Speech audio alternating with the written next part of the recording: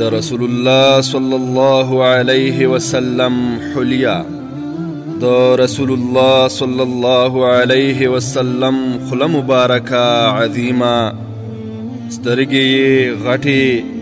پوندې یې نری یعنی کمې غوښې لرونکې وي